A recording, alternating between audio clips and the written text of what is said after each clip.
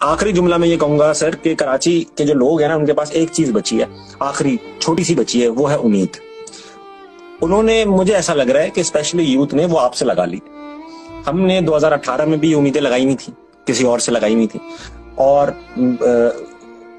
आपके पास वो आप शायद वाहिद बंदे हैं इस वक्त जो इलेक्शन में खड़ा है जिसके पास ये पावर है कि वो डिसअपॉइंट कर सकता है। अभी समझ रहे सब ये गहरी बात है थोड़ी सी कि आपके तो अलावा कोई हाँ आपके अलावा कोई डिसअपॉइंट नहीं कर सकता हमें।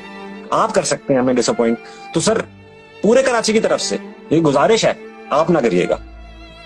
हम आपको इनशाला आपको लड़ते हुए देख लेंगे हमें सुकून मिल जाएगा कोई बंदा लड़ रहा है। हमें इस वक्त ऐसा लगता है कि मैं सारे कराची वालों को कि वो बच्चा नहीं होता जो किसी का माजूर पैदा हो जाता है और वो माँ बाप जो उसकी केयर ही नहीं करते, छोड़ो यार, अब जैसा हमारे क्या मुसीबत पड़ गई। ऐसा लगता है पाकिस्तान का वो माजूर बच्चा है कराची, जिसके लिए पता नहीं क्या कर रहे हैं। हमें तो ऐसा लगता है कि शायद जानबूझ के ऐसा कर रहे हैं कि सारे कराची वाले छोड़ें और भाग जाएँ। तो सर, आप डिसअपॉइंट ना कीजिएगा।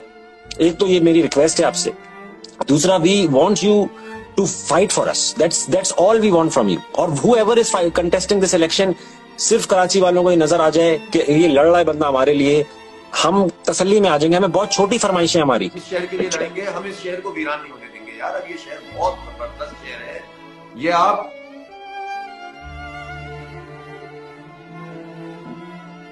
फिर इंशाल्लाह लोग इसकी बत्तियाँ देखने आएँगे इंशाल्लाह। अब ऐसा है कि एक चीज़ तो तय कर लेते हैं कि कराची को या तो पेरिस बनाएँगे वरना पेरिस जाके कराची बना देंगे। लेकिन एक एक और आप भी मुझसे करेंगे। प्लीज़ ले मुझसे। ठीक है जब ये कराची के अंदर आप ये महसूस करेंगे कि अब कुछ अच्छा होने जा रहा है तो आप कराची दोबारा हाँ। मैं आपसे ये वादा करता हूँ कि अगर मुझे हल्का सा एहसास भी हो गया कि ये शख्स कराची ठीक कर देगा मैं वापस आ जाऊँगा और आपके साथ ठीक करूँगा। हो गया डन। इस्लामी और आप जैसे शख्सियत जो पढ़े लिखे हैं बच्चों वाले हैं जिसकी जिसको देख के लगता है कि यार ये शरीफ आदमी है सर ऐसे रहिएगा। इसी एटीट्यूड से ये जो ये जो आप लोगों की एक्सपेक्टेशन है ना ये सच्ची बात है मुझे बहुत डराती है। मुझे बहुत डराती है। और अल्लाह ताला बस इसकी ताकत दे हमें कि हम लोगों के लिए कुछ कर सकें। नबी पाक ने फरमाया कि अल खल को अयालुल्लाह।